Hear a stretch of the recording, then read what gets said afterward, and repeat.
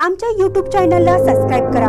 महानकारी news subscribe करा आणि notification on करा. नोटिफिकेशन ऑन केल्यामुळे आमचे अपडेट आपल्यापर्यंत सतत पोहोचेल. रुई ते नर्दे घाट शांती सद्भावना यात्रा उत्साहात संपन्न.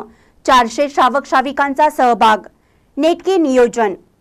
जैन समाज बांधवांतर्फे रुई ते नर्दे घाट अशी शांती सद्भावना यात्रा मोठ्या उत्साहात संपन्न झाली. सुमारे चारशेहून अधिक जैन श्रावक श्राविका या शांती यात्रेत सहभागी झाले होते. यात्रेचं नेटके नियोजन दिगंबर जैन समाज रुई यांच्यातर्फे करण्यात आलं होतं. दरवर्षी दशलक्ष पर्वानंतर शांती सद्भावना यात्रेचं आयोजन रुईतील दिगंबर जैन समाजातर्फे करण्यात येतं. यंदाही रुई ते नर्देघाट अशी पदयात्रा काढण्यात आली.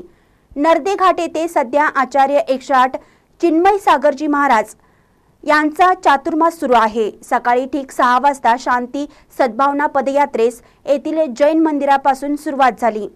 स्वच्छ शुभ्र वस्त्र आणि डोक्यावर टोपी असा वेश परिधान करून खांद्यावर पंचरंगी ध्वज घेऊन अहिंसा शहाकार व्यसनमुक्ती स्वच्छता राष्ट्रीय एकात्मता आदी बाब बाबत जनजागृती करणारे फलक हातात घेऊन सुमारे चारशेहून अधिक जैन श्रावक श्राविका या पदयात्रेत सहभागी झाले होते. ही पदयात्रा रुई हातकलंगले आळते मार्गे सुमारे सोळा किलोमीटरचे अंतर पार करत नर्दे घाटातील जंगलवाडे बाबा यांच्या चातुर्मास स्थळी पोहोचली. त्या ठिकाणी पोहोचताच आचार्य चिन्मय सागरजी महाराजांचे आशीर्वचन झाले. यावेळी गुरुजनांची आरती करण्यात आली. दरम्यान हातकलंगले येथे श्रावक अरुण आवटे परिवाराकडून अल्पोहाराची व्यवस्था करण्यात आली होती.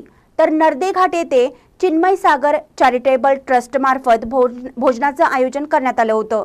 या पदयात्रेत जैन समाजाचे अध्यक्ष राजू कल्याणी अनिल गडकरी महावीर हुपरे अरुण आवटे राजू खुळ विनोद मुदाचिटे दिग्विजय पाटील मनोज अथने बबन काश्मीरे सुनील चेटके आदींसह वीर सेवा दल सदस्य बीट महिला मंडळ सदस्य आणि रुईतील श्रावक श्राविका मोठ्या संख्येने उपस्थित होते. महानकरे न्यूजसाठी रुईहून शरीफ मक्कूभाई.